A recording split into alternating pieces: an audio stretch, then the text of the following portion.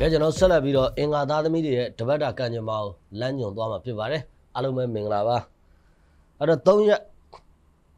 နိုဝင်ဘာလ2024တနင်္ဂနွေနေ့ကနေပြီးတော့9ရက်နိုဝင်ဘာလ2024စနေနေ့အထိတပတ်တာအတွင်းအင်္ဂါသားသမီးတွေရဲ့ကံကြမ္မာအခြေအနေကိုကျွန်တော်ကြည့်လိုက်ကြရအောင်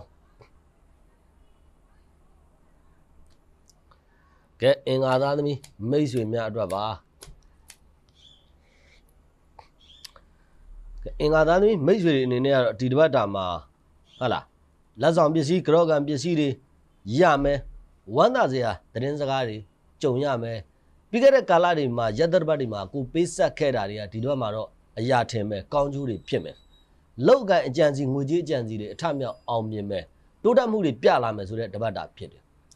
အလားတူပဲဒီတစ်ပတ်တာမှာမောင်မြင်သေးတဲ့ကိစ္စတွေထပြီးတော့အောင်မြင်နိုင်တဲ့တစ်ပတ်တာဖြစ်တယ်လို့နာမည်ကုန်သတင်းကြည့်တာဘုံတကူတက်တာဟာလား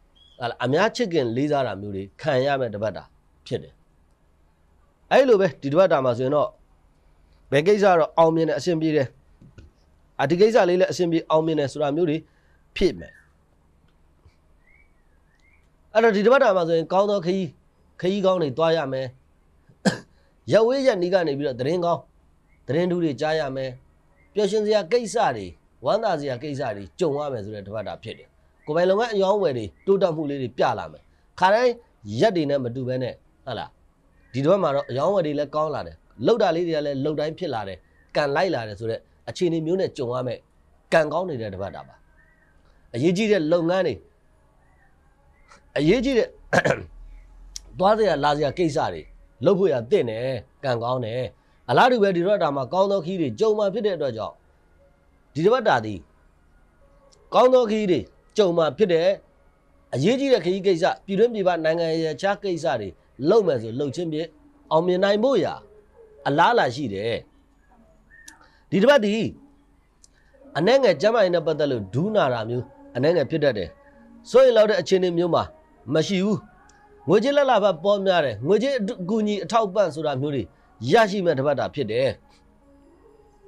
ဒီတော့ကတော့ပျော်ရွှင်ခြင်းတွေကံကောင်းခြင်းတွေ ဘုံကံတကူတက်ခြင်းတွေဟုတ်လားကြီးကဲသူတွေစီကနေအခွင့်အလမ်းအကူအညီအထောက်ပံ့ရရှိခြင်းတွေနဲ့ကြုံတွေ့ရမဲ့မြန်မြန်ဆန်ဆန်ကံကောင်းနေတဲ့တပတ်တာဖြစ်ပါတယ်